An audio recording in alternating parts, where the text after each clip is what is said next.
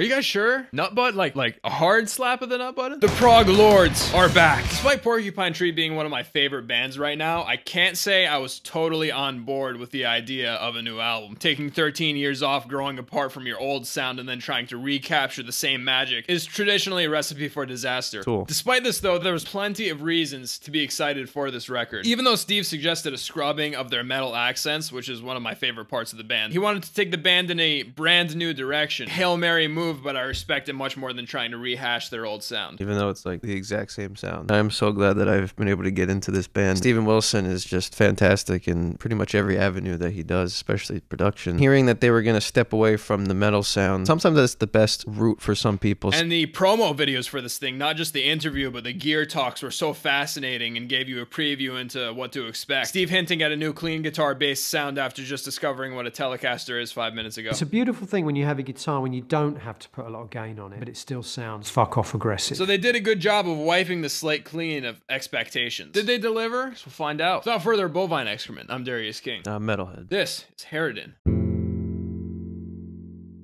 Such a compelling intro with Steve and Rich going total funk mode. Really an overall compelling song with Gavin Harrison being Gavin Harrison. Combining these funk tones with such ferocious energy. The janky Les Claypool like bass intro, fantastic way to kick this track off, followed by the fantastic kick-ass drums. Enjoy your extra. Kick-ass drums and of course the signature steve's vocal effect i really did enjoy the keyboard chords in the background i thought those fit really nicely and you realized how much space it really fills in What's amazing is that for most of the songs, Steve and company don't need big guitars or double bass kick drums to dial up an explosive moment. They knock you off your chair, of course, during the massive hook, but at plenty of other parts with Steve and his telly. I really love the way that Steve, rather than approaching it from, I'm gonna play this guitar part, he wants to create a sound and he doesn't care what instrument he uses to get that sound. He thinks more sound rather than different parts of instruments. This is the question they ask. Which guitar would you rescue if your house was burning down? None of them. The guitars, they're just tools. Powerful opener. Had me looking forward to the rest of the album. What's going on the playlist? just an absolute nuclear explosion of prog just like singes your eyebrows off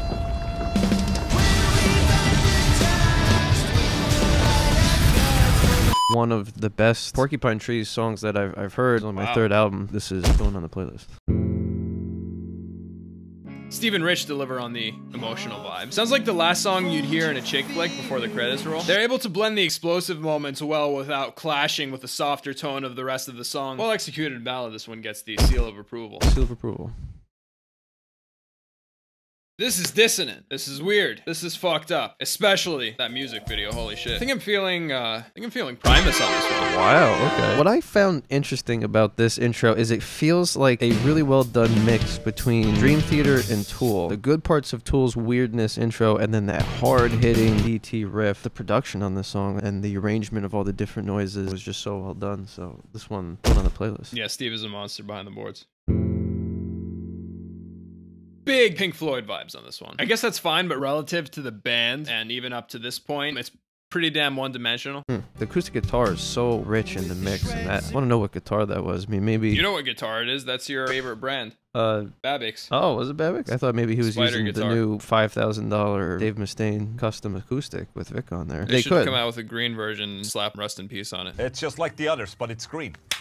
Let's call it Rust and Peace. Rich breathes life into this song with his strings and the synth melody in the background. I think personally though, the driving bass kind of crashes with the overall softer tone that they're going for. This was not one of my favorites. I could really go either way on this one. After we shot this, I was hearing a lot of chatter online about this specific song, how it's one of the best on the album. Even a couple of you guys reached out and said give it another shot. So I did. I had to give it another shot, and I have to say it is one of the better songs on the record. I love the passion, the drive, and the excitement behind. No, I'm just fucking. with you. It's total mid. Total mid. I'm really obsessed with a lot of the mixing on this album. Steve is just a genius when it comes to this stuff. This one gets the seal of approval. What was this? The sound of music? Whoa. Now this is what the fuck I'm talking about. Steve's massive spacey vocals and the roaring guitar is the payoff I've been waiting for since the opener. Love hearing Steve test his vocal limits after the curse this place line. Then wait for it. Wait for it.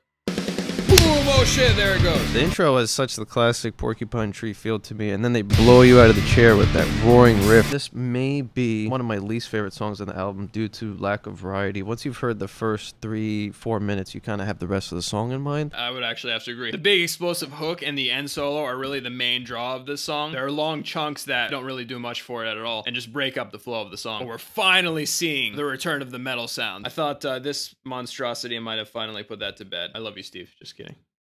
Nah, it's actually a terrible album. Seal of approval. Wouldn't get pushed out of moving car.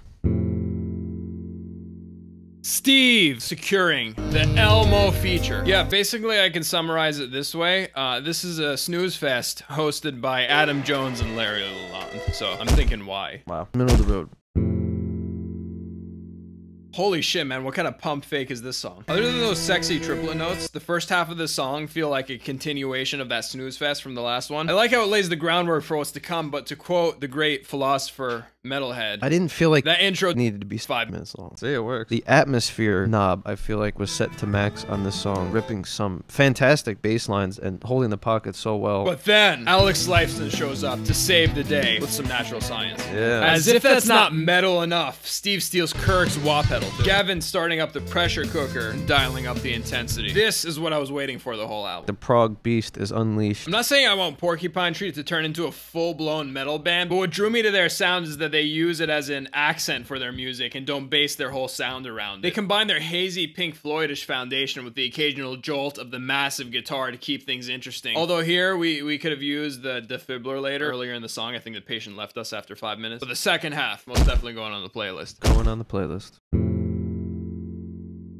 It's not marked on streaming, but for those that don't know, these last three are just bonus tracks. I feel like they're all pretty coherent tracks. I would have to say probably Never Have is my favorite of the bonus track. Yeah, Never Have is actually right now by Van Halen. Population 3 has some nasty guitar riffage and haunting clean tone, and it would probably be in the upper half of the main track list for me. Love in the Past Tense has a really cool intro.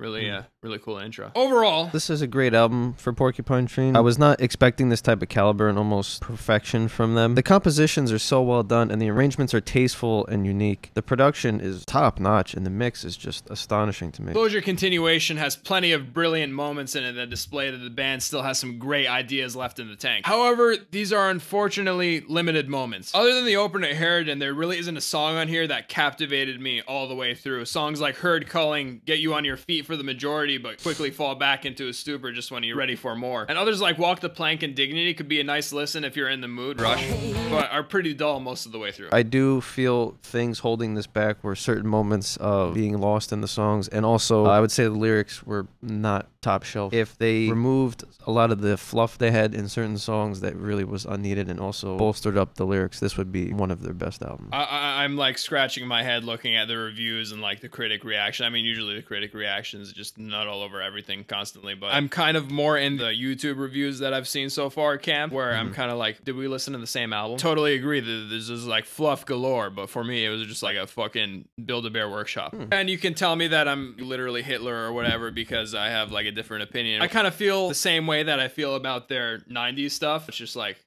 Okay. The thing is, they made it sound like we're getting a brand new sound, but in reality, most of the records sound like a watered down version of their monumental 2000s material. I'm really hoping they're leaning more towards continuation and not ending with this one. I'm gonna go middle of the road. Wow. Two things I'll say. I'll say the rating, and the other thing that'll probably get me executed. I think this is better than Fear of a Blank Planet, and I'm on my way there right now. this one's going on the playlist. Wow.